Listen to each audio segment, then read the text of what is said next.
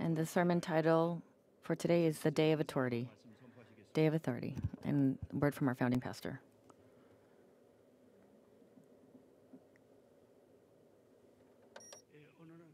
Today, they call it the Day of Authority, which is the second day. Yesterday's entry was the first day of the week. Today's the second day. And on the second day, as we follow in Jesus' footsteps, we learn about Jesus' heart, what he does today, and what words he expects from each of us, for ourselves, for our ancestors, for all of mankind, especially for our believing families. So we need to give an appropriate answer and in our hearts of faith before entering the church.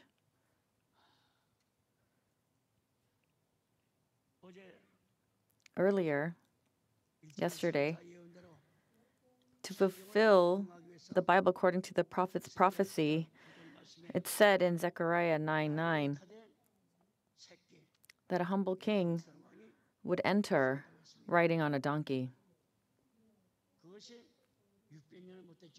Although it was less than 600 years ago, the prophet Zechariah prophesied it more than 500 years ago. In every country, how dignified is that status of a general with a large war horse, a white horse, a saddle, or a rank insignia in full regalia? And the flash of countless spears and swords, the sound of military boots, and tens of thousands of soldiers. And then they would have a military band stand in front of them. The majesty is impressive. And they would enter the military parade as a general. But Jesus is riding on a colt, a baby donkey. It's tottering. The adult Jesus is riding on it, so would the donkey even walk properly? Everyone who saw him probably thought he was crazy. But you cannot not do that because the prophet foretold this. So the one riding the donkey is the King of Kings, the humble Messiah, the Savior. Up until this day, while Jesus was teaching the word, people said, Don't say you're the Messiah. They shushed him. However, it was revealed while he was entering Jerusalem while riding a donkey I am the King. I am the Messiah. I am the Savior. I am the Son of God. It was revealed. So, all these kids and adults, how uncomfortable it must have been to ride a donkey without a saddle. He rode this way and that way. The children, the adults, and the women, they spread their cloaks on the street. They held up palm branches and shouted, Hosanna to the Son of David, O King. And it must have been so shocking that in Matthew 21 said that Jerusalem was in turmoil, as if there had been a riot. And many people asked, Who is that? He is from Nazareth, and his name is Jesus Christ.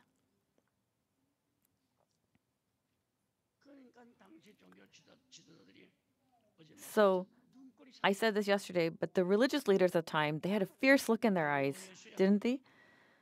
Hey, Jesus, why are you being honored by these rude and ignorant people? Don't let anyone say Hosanna to the Son of David. And then Jesus said, If these people stop speaking, the stones in the street will cry out.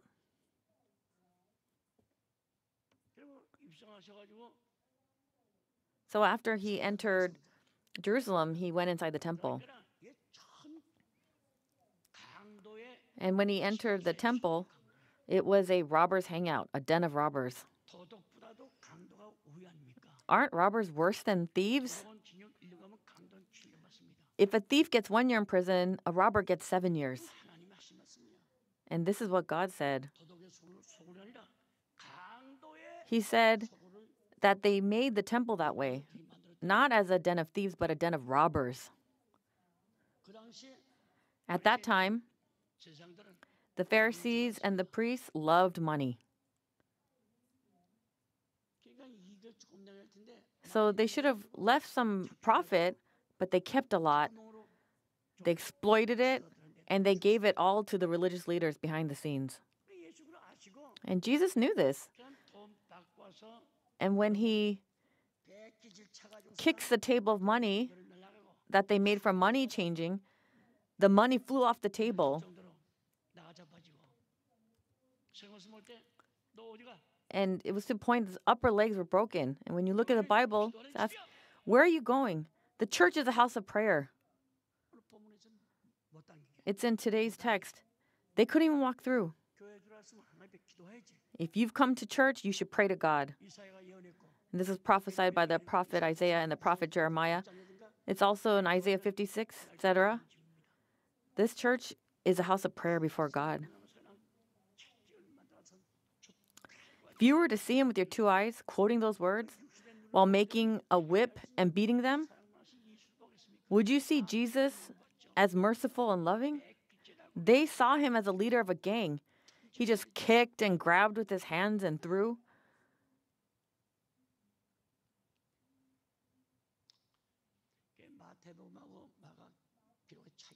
And there are differences between the records of Matthew and Mark. in Matthew, we see after he entered Jerusalem on donkey, he went to the temple and took a quick look. He knows everything. For example, if you look at the pulpit, you know who gave offering and who bought it. He is God after all. He is God. And also in John chapter 2 verse 24 to 25, isn't this word that I always enjoy using? He knows everything without needing people's testimony without receiving reports, without saying anything. He slept at Bethany, but Mark has it that he immediately went and beat them all up.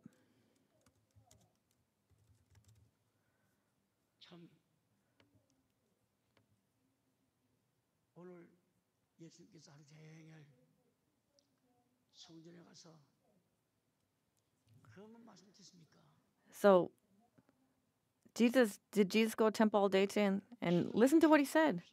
There was no place to pray. If you pray, you'll be treated as an idiot. That's how they would treat you.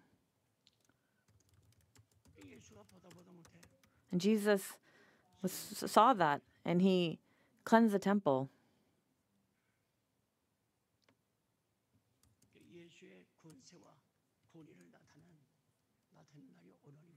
Today is the day that Jesus shows the power and authority of Jesus.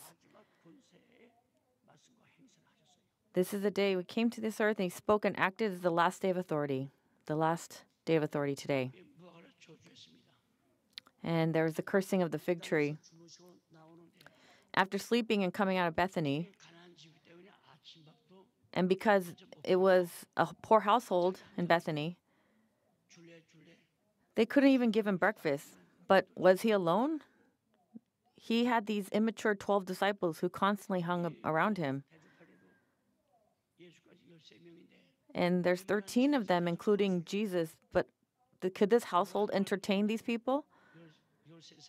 Let's say you have to serve one bowl of water, but now you have to serve 13 bowls of water. And you can't even serve half the amount. So they weren't able to eat breakfast or be treated well, and they're on the way to temple, and there's a fig tree. And to say that it was not time for figs means they weren't ripe. There must be at least some green fruit. So even if you eat green figs, you won't get sick or it, it's not bitter. But when Jesus went there, only the leaves were overgrown. And now look at Jesus, the merciful and loving God. He says, You will never bear fruit from now on. He said it and he left, and all the disciples heard it. So after going to temple, breaking everything down, and testifying the great word of God, and asking and answering questions to many people, suffering for a day, and in his tired state, he noticed that the fig tree that had been fresh in the morning withered by evening with Jesus' word. Teacher, the fig tree withered and died. So, with one word from Jesus, it gave the right to survive, to live, or die. This is the word of power. So, there's a difference between what the pastors at the time said and what Jesus said. Who is this?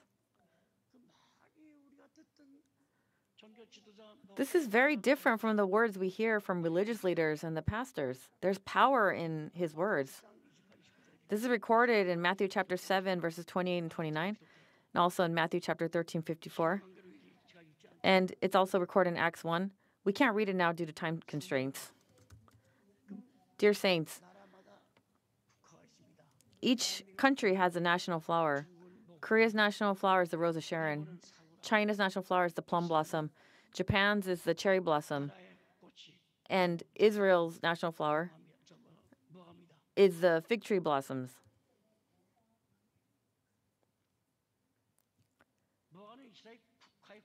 The fig tree blossom is the national flower of Israel. So in Jeremiah chapter 24, verses 1 through 6, we see that is accurately written that the nation of Israel is a fig, compared as a fig. Is an evil fig or a good fig?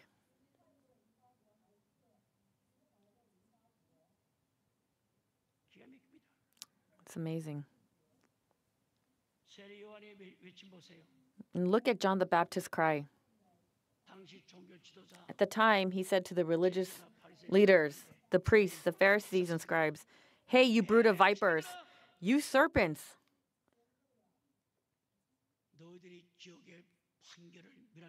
Do you know how to avoid the judgment of hell?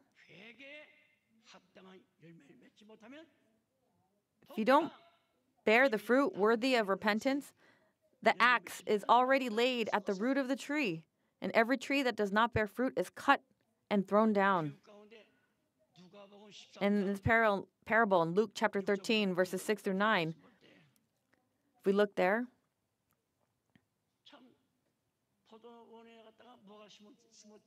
there's a man who planted figs in a vineyard, right? The owner came every year, and it didn't bear fruit in the third year, and still nothing. He called the vineyard keeper and said, Hey, cut down this fig tree, it's wasting land. Isn't Jesus the vineyard keeper? The owner is God. And Jesus, the vineyard keeper, said, Father, Master, please be patient for one year. I will dig a ditch, fertilize it, take care of it, and plant it for a year. And if it still does not bear fruit, then I will cut it down. And didn't they receive one year suspended sentence? But still no fruit. In, in fact, Jesus cursed the figs. But when we look at our lives of faith, we still say to this day, Lord, I believe. And we, we're proud to say that we all received grace, and everyone's proud of their faith. But are there any fruits of faith? Are there any fruits of grace? Is there any fruit of repentance? If we look at Galatians 5:22 and the following, is there the fruit of love? Do you have the fruit of the Holy Spirit?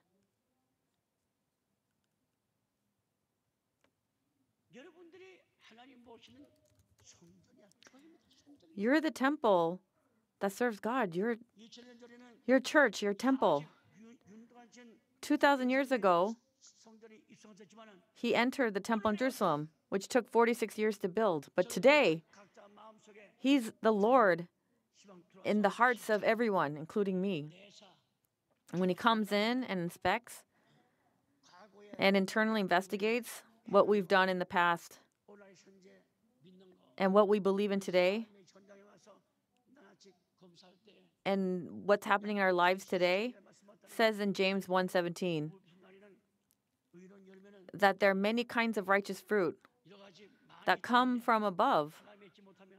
But if we don't believe, what would happen if we don't bear any of that fruit? Reading the Bible is also fruit. God also sees prayer as fruit. He looks at the fruits of temple construction, district offerings, and offerings from women's ministry, men's ministry, college students, and young adults.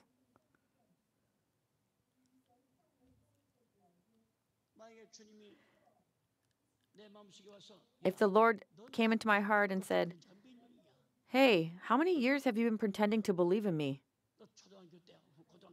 When you were in elementary school, middle school, high school, and college, and now you're over 40, how many decades did you believe?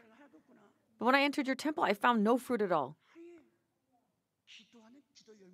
There's no fruit of prayer, and there's no fruit from reading the Bible and when a pastor testifies the word, an evangelist, or someone else testifies, there's no fruit of hearing. So in Revelation 1 3 says, Blessed are those who read the Bible, those who hear it, and those who keep what's written in it.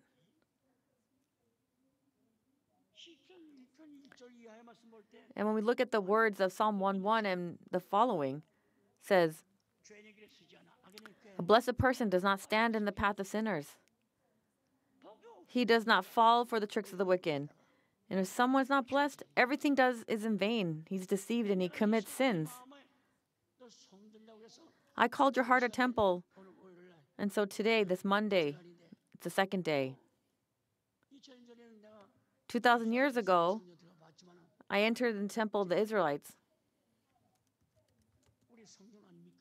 But isn't that our temples now? If we look at 1 Corinthians 6:19 and also in 3:16, 1 Corinthians 3:16. They call themselves a temple and God went there, but why is there nothing there? There's no fruit of zeal in coming to church. There's no fruit of longing. Everything is just in moderation. How can you say you're my son? Are you truly the son? He's asking, Are you the son of the world? Everyone, please don't take this lightly or as a laughing matter. He's entering the temple today, and he's entering the temples of our hearts and examining all the members of Pyungkang Church. He said, My house is a house of prayer. So when Jesus comes and he visits a praying saint, shouldn't he examine our hearts and go away happy? This is the problem. Even the roots withered and died. Teacher, it's dried up to the roots. Even the right to survive was taken away.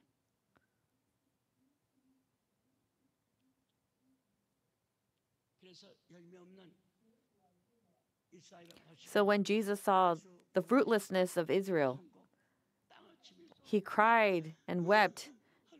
And as he struck the ground, he asked, God, what will happen to the Israelites in the future? Said they would crush the children, right? In 70 AD, the Roman general Titus came and killed 1.1 million people. At that time, the historian Josephus said,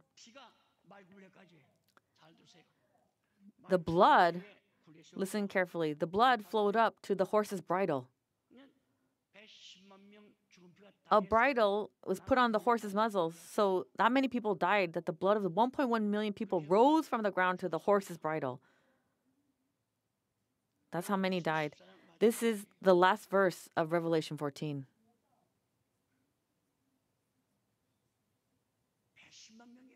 1.1 million people. And they boiled their babies and ate them, grilled them. And this is in, during the Old Testament times, during the times of the Old Testament. In the past, through Moses, God told people that if they lead a fruitless life of faith, the nation will become poor and suffer hardships, and they would eat their own babies. And this is recorded in Deuteronomy chapter 28, verses 53 to 57.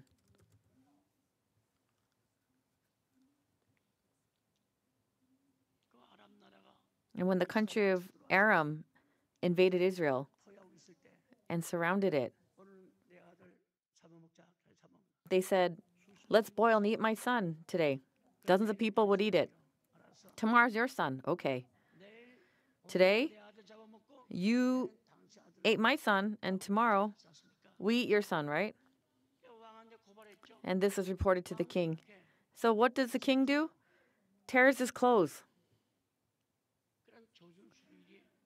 And such a curse is recorded in chapter 6 of 2 Kings. Dear saints, this is a fact of history. If we don't bear the fruits of the temple, this won't be a country where we feel comfortable day and night.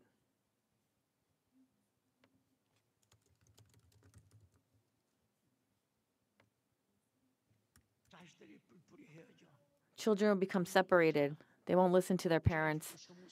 They'll commit crimes, go to prison, do drugs. They get married, but after a few years, they divorce again. And if we look in Deuteronomy 28, it's written that although she is my wife, when she gets married, she becomes another man's wife. Anyway, fruitless people are the same. It's not limited to Israel. Jerusalem, Jerusalem, have I tried to bear you under the wings of a hen? How have I tried to bear you under the wings of a hen? You didn't want it. The words of peace and blessing have been hidden from your eyes. And he said that not a single stone will be laid upon another. Did they listen? That to be completely torn down and destroyed horribly? Didn't, they didn't listen.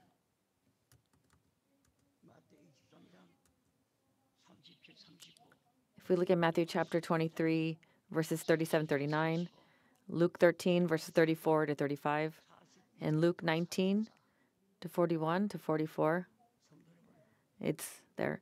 Dear Saints, at this time,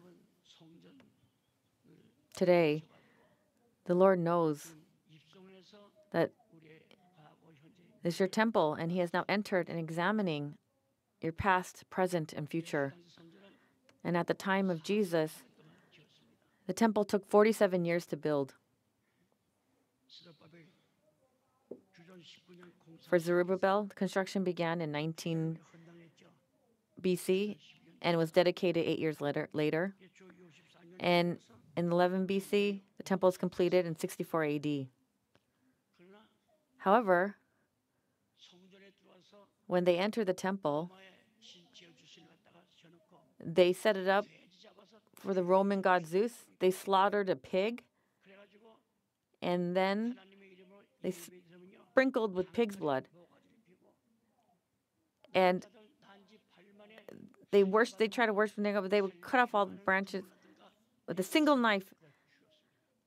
And we see that people who tried to get circumcised were killed on the spot.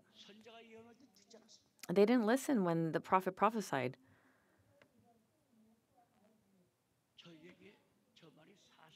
That story, is that true? They didn't even think about they couldn't even imagine it. And was it all about like dancing, playing, eating, drinking, gambling, and all of that? And then the young men grow old and turn gray. They have their own sons and daughters. They have grandchildren. And they say that everything is ruined by the time grandchildren arrived. And a man like King Zedekiah goes to Babylon.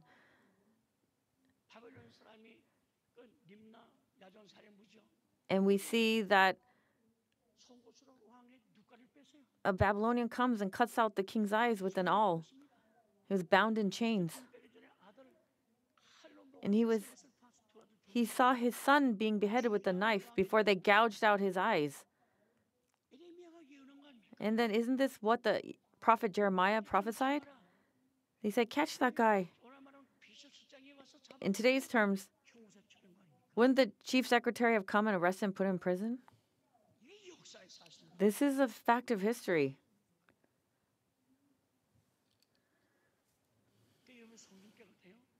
Everyone, is your temple clean? Is it clean? Jesus entered today. He is entering today.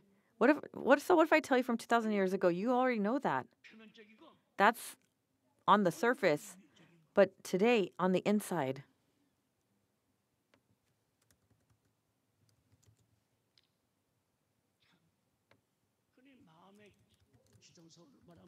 So when we think of the most holy place of the heart, it's the conscience. And if your conscience is all seared and paralyzed, and then what good would it be used for? You come to church, you just sit there blankly out of your mind, worry about things like my children, my husband, about money, interest, take a deep breath, and then you go. And so, can the word of God comfort you? It's not possible. I said it mentioned earlier. This is found in Luke chapter 16, 14. At that time, the religious leaders loved money. If we look at 1 Timothy 6:10, the love of money is the root of all evil. And also in Exodus chapter 30 verse 13.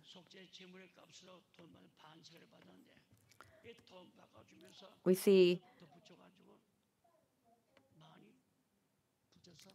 that uh, according to the verse, they received money as a price for sin offering, half a shekel. But when they exchanged the money, they added a lot to it and they ate off of that.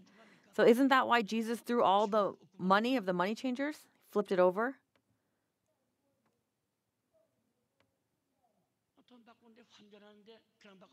They're, when they exchange money, do they just exchange it? And don't they take some, don't they skim some money off? They exchange it for a few pennies.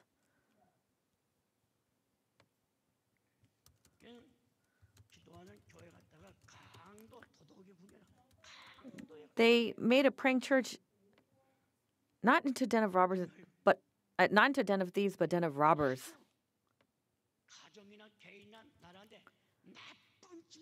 And these are peoples who not only do bad things, to families, individuals, or kind, but they these are supposedly believers.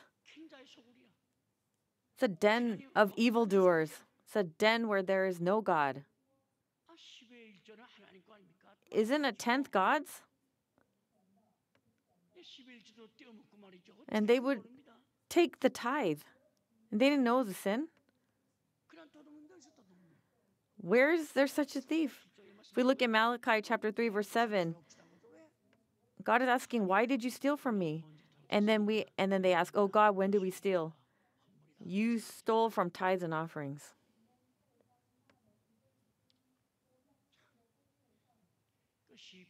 So if we look at Psalm if we look at Psalm 10:9 if we look at Psalm 10:9 and we see where they do wrong. They, it's clearly den of robbers where they do bad things, where they gather. They abuse something sacred to for their own profit. We see this also in Jeremiah chapter 7, 11 and Luke chapter 19, verse 46.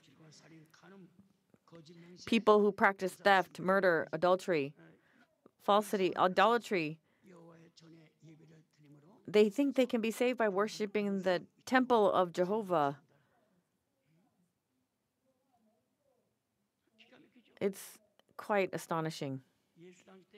At the time of Jesus, even among the residents of Jerusalem, they thought that they could live comfortably and like in a safe zone. But God spoke first through Jeremiah you have all these arrogance and bad thoughts and do all kinds of bad things. And you, you live this long and you think, oh, this is God's blessing. Where can you find children with such foolish thugs? They take God's holy area and they turned it into an evil zone.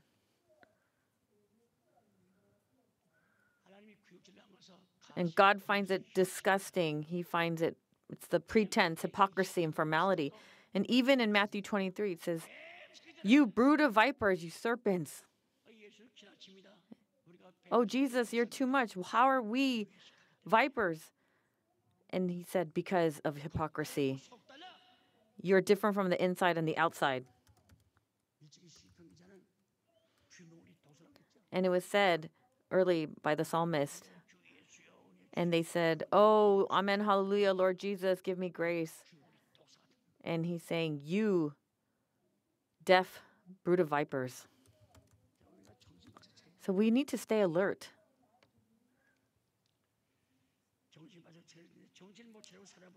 Try living without losing your mind. It's astonishing.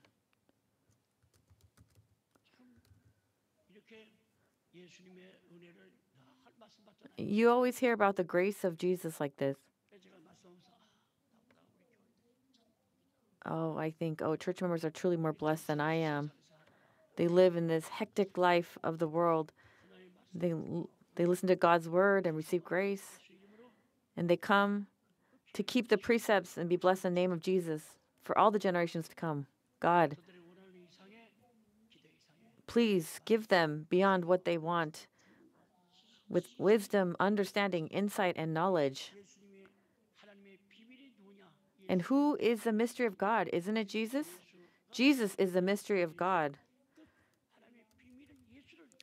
So when we have this mystery, let us all take it and go back to our homes. If I preach without praying, am, am I just like a hired hand of a pastor? And I'm saying this before God you cannot, I have never stood up on the pulpit without praying.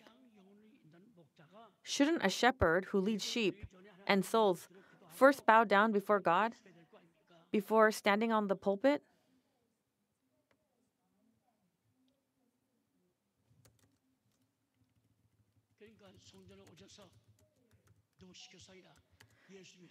So Jesus didn't Jesus come to the temple himself and curse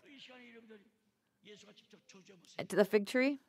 So at this time, think of how much, how embarrassing it would be if he had come and did this to us directly.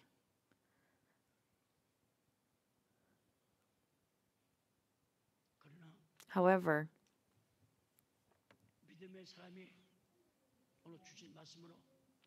with the word given today, I believe that we'll become great believers, and I praise the name of the Lord. I pray that you will become a fruitful saint. First, I pray that you will bear the fruit of repentance. And I pray that it bears good fruit according to your wishes. I pray in the name of the Lord that you may bear the fruit of prayer, the fruit of evangelism, and the fruit of loving your neighbors as yourself. So, for unfavorable conditions, turning into favorable conditions and suffering today, I came to Passion Week. I heard the word, repented in my heart with a fervent focus before God, and prayed again and made a vow before God, truly rejoice in God that until I enter the kingdom, that I will be your son, your daughter.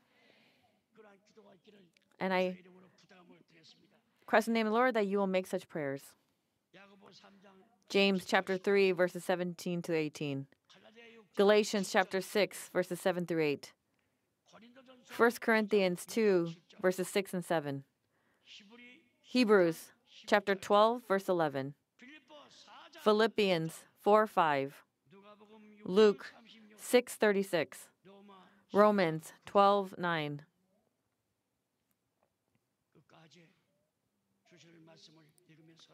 As you read the words given to the end, you must realize that the fruit of martyrdom is not do not just avoid the prospect of death, but have a joyful heart if it's the Lord's will. And if it's the Lord's will, if it's then our body can be burned for the sake of the kingdom and righteousness. And I will go before God correctly by speaking the right words and the righteous words of God.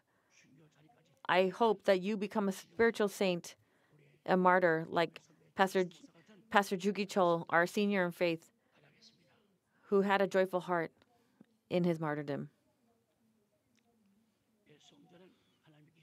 The temple is where God resides. God is in the temple. And when we pray in the temple, God says that He hears and sees everything. First Kings chapter 8, verse 16. 2 Samuel chapter 7, verses 4 through 16. Deuteronomy chapter 12, verse 11. 1 Kings chapter 8, verses 28 to 29, and also verse 52. 1 Kings 9 3, and also 2 Chronicles 7 15. And lastly, Nehemiah 1 6. How precious are these words? It's very precious.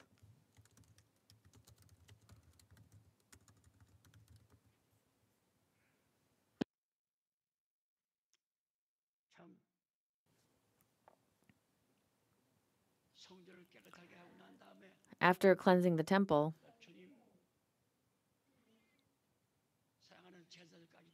the Lord and his beloved disciples, they didn't know what was going on. was only it was recorded that only after he died and came back to life that they became to understand Jesus' actions. So even though they had followed him for three years, they did not understand Jesus' actions. And also, we see in John 2, the temple is destroyed. And the Lord said, I will build the temple in three days. This is a temple which took 46 years to build. Then who would believe it?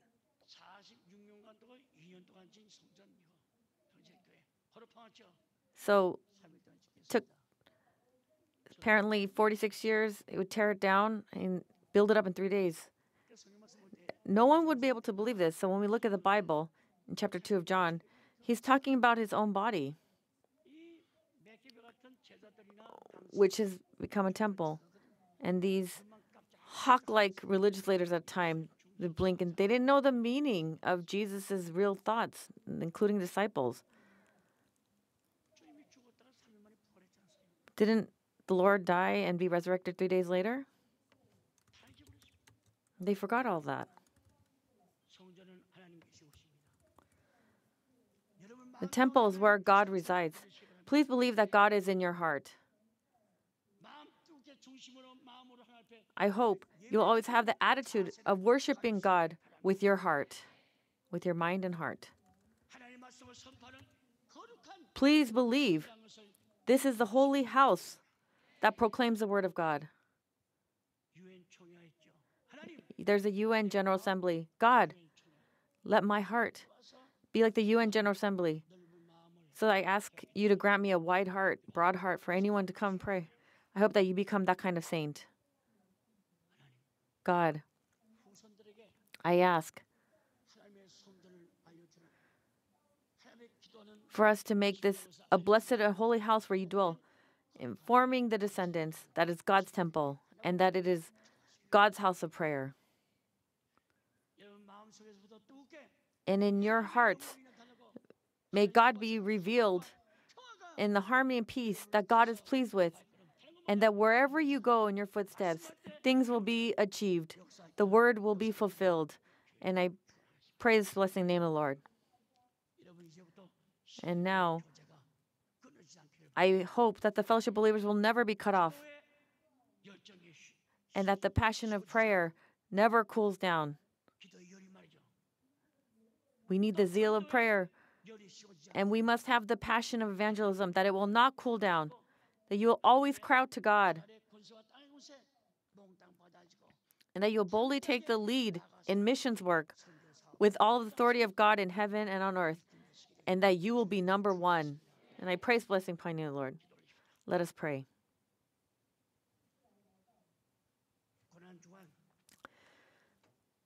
On the second day of Passion Week,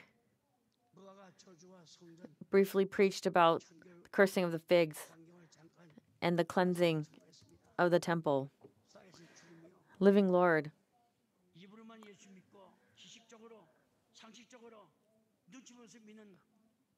Please cast out all those who only believe in Jesus with their mouths and only with head knowledge.